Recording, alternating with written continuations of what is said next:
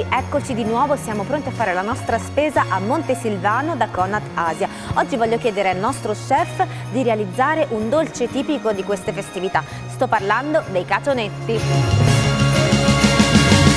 I cacionetti sono un dolce tipico della tradizione abruzzese e in ogni caso si fanno in un modo diverso. Io per questo voglio chiedere al nostro chef di darci la ricetta originale. Andiamo! Quando ero bambina la mia nonna mi faceva fare i cacionetti con le mandorle, con i ceci, con le castagne. Io oggi non voglio sbagliare, quindi acquisterò due ingredienti che nei cacioni veramente non mancano mai. E sto parlando del cioccolato e delle mandorle. Ecco nostre mandorle. Mezzo chilo di mandorle saranno sufficienti per realizzare i nostri cacionetti tra l'altro mi affido come sempre al marchio Conad, sono sicura di aver risparmiato e di aver acquistato un prodotto di grande qualità.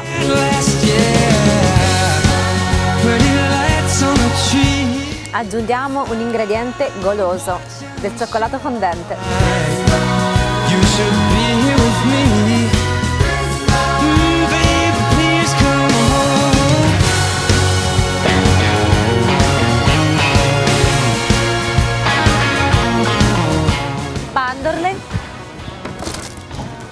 Cioccolata fondente.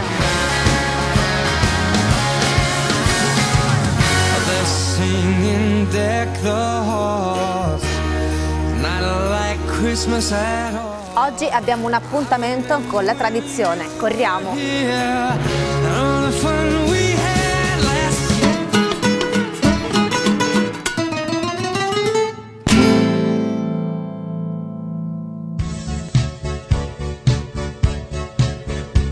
Amici di A Tavola con lo Chef, ben ritrovati. Noi siamo qui ogni giorno per proporvi delle ricette anche in questo periodo di festività. Oggi voglio chiedere al nostro chef Antonio Di Giovacchino di realizzare una ricetta tipica delle festività natalizie. Ciao Jennifer. Ciao Antonio, Ciao. io sto parlando dei cacionetti. Eh, i cacionetti praticamente non è Natale se non abbiamo i cacionetti a casa.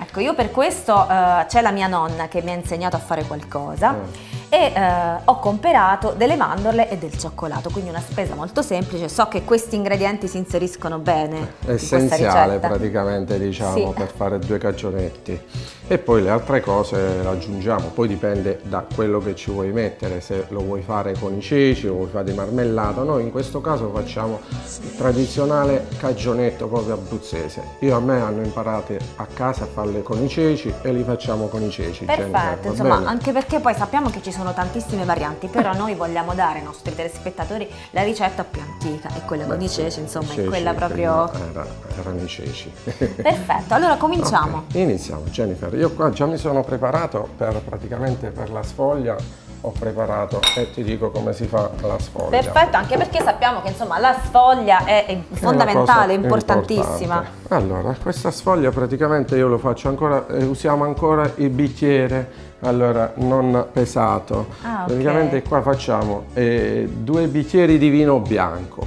un bicchiere di olio, poi usiamo oh, dello zucchero, due pizzichetti praticamente, così un pizzichetto di sale e la farina, quello che raccoglie questo, questo contenuto liquido, si mette la farina e si raccoglie. L'impasto deve essere così. Ma lo sai no, che... Non troppo duro. È proprio come quello molle. della mia nonna. Siccome, vedi, siccome c'è l'olio, praticamente non c'è neanche il problema che, è, che di solito che si attacca, che dà fastidio. È facile da lavorare e questo e noi abbiamo già ci siamo preparati una sfoglia, una sfoglietta da, da, metterci dentro, poi ci si mette dentro quello che si vuole. Ecco, la sfoglia deve essere quanto sottile? Possibilmente io sottile, più sottile è, più leggero è il cagionetto, se no dopo sa troppo di massa, è troppo in, certo. in zuppa, troppo di olio. Anche Invece se è più leggero e ripiene sapore, quello che conta. Praticamente qui dentro puoi mettere la marmellata, puoi mettere il miele con delle mandorline, si può mettere il cioccolato per i più amanti del cioccolato. Per i più piccolini no, in questo, in questo uh, facciamo così. Allora, parliamo dei ceci lessati, sempre dei ceci sultani lessati. Li passiamo, eh, li, li, puoi o passare al um, passaverdure mm -hmm. oppure eh, li puoi frullare, l'importante è che vengano eh, praticamente sottili, non ci deve essere la buccia Quindi che sia praticamente una crema. Una crema, una, crema. una cremetta di ceci.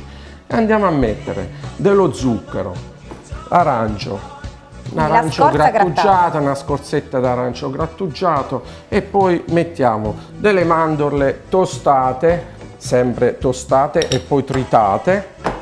Poi andremo a mettere del cioccolato, del cioccolato e andremo a mettere... Il cioccolato, scusami Antonio, dobbiamo scioglierlo per... Si scioglie perché dopo questo qua, una volta messo tutti questi prodotti qua, questi mm -hmm. ingredienti, andremo a mettere del mosto cotto. Ah ok, Del mosto cotto. cotto e lo facciamo cuocere per una decina di minuti e in questo caso si va a sciogliere, siamo, tutti questi ingredienti qua vengono amalgamati benissimo e otteniamo, ecco questa è tipo ah, una, una, una purè, questa è la consistenza. Ok. Ecco qua. Quindi basta semplicemente uh, assemblare, assemblare, tutti gli ingredienti. L'importante è che i ceci sono oh, pa passati bene praticamente. Okay. E quindi passati poi dobbiamo bene. farlo saltare un pochino sul fuoco questo, sì, un po' sul fuoco una decina si... di minuti.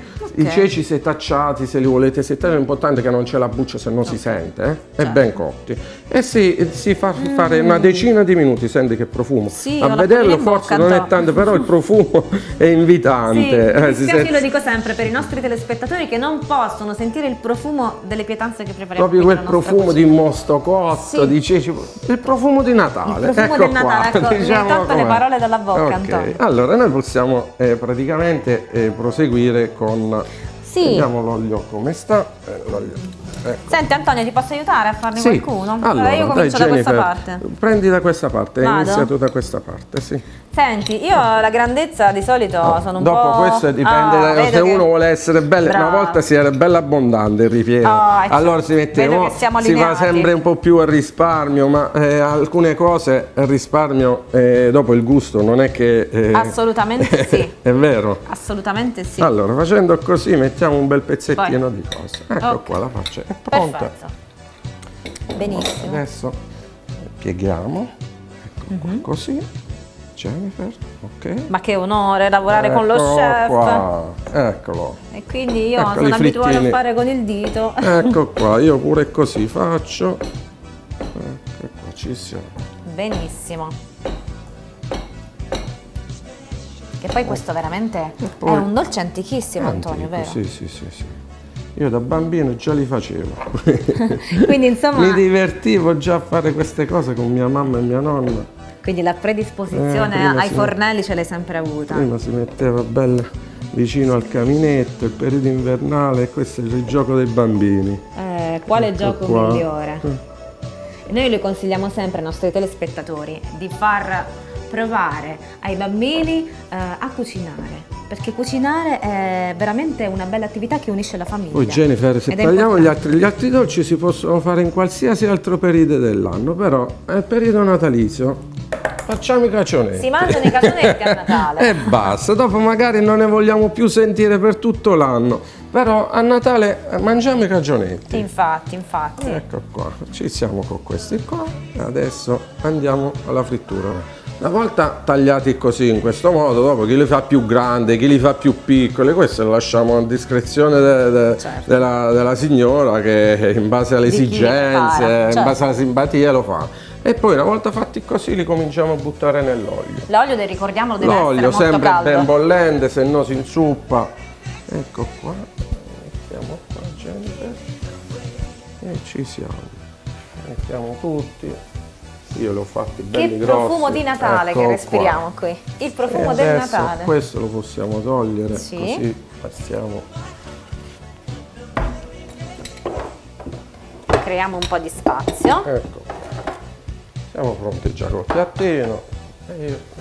Quindi mediamente tempo di cottura, Antonio? Eh, Poco? Meno di 5 minuti. Meno di 5 Quindi minuti. Quindi giusto un salto nell'olio? Un salto, sì.